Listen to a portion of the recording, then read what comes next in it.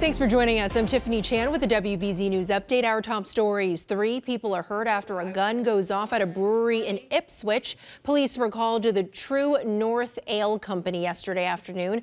A man in the dining area was shot when a gun he was carrying accidentally discharged.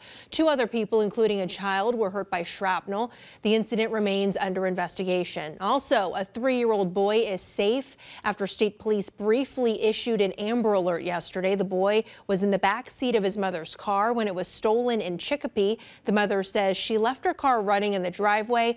That's when police say Vadim Vorobyov stole the car with the child inside. Police say he made it to Connecticut where he dropped the child off at a hotel in Windsor. About a half an hour later, police arrested him outside of a nearby gym. Also, a Lexington Elementary School employee is on leave after leaving a gun inside of a parked car on school grounds.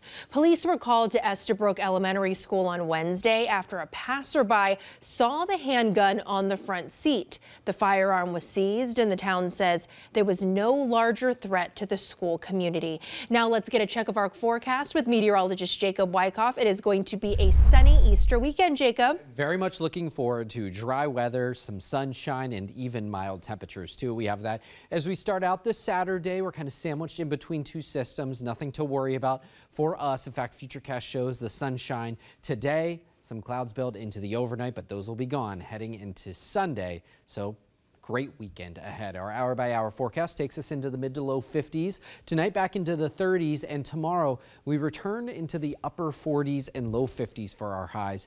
We may start out with a few clouds in the morning, but those should thin out the later into the day we go. But then we have this system that we'll be watching, bringing us initially some rain, perhaps changing over to some snow as it wraps up and kind of strengthens off the coast. This would be Tuesday night and throughout Wednesday and even into Thursday. So we have that kind of denoted with the potential of a next weather alert Wednesday and Thursday, rain, snow, and wind all in the mix with that system.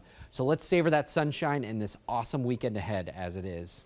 Tiffany? Okay, Jacob, thank you. I'm Tiffany Chan, and this has been a WBZ News Update. Have a great day.